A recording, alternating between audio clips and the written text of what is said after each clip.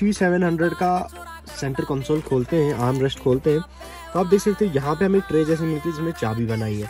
तो ये इसका फ़ंक्शन क्या है? अगर फॉर एग्जांपल आपकी चाबी की बैटरी खत्म हो जाती है तो आपको अपनी चाबी जो है इसी प्लेस में रखनी है। यहाँ पे जो है सेंसर ज़्यादा लगाए, ताकि मिनिमम से मिनिमम सिग्नल भी अगर ये दे, कम से कम सिग्नल भी ये चाबी दे तो ये सेंसर पकड़ ले। तो ये लोकेशन जो है स्पेशली डिज़ाइन की गई है, ताकि अगर आपकी चाबी का भी डेड हो जाए तो आप चाबी यहाँ पे रखो एंड गाड़ी को स्टार्ट कर सको।